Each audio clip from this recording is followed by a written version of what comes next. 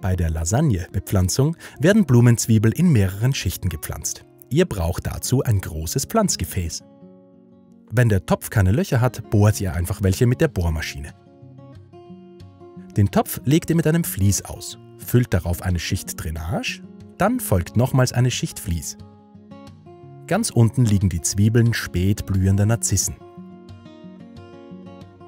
Darüber folgen Hyazinthen, Tulpen und Krokusse.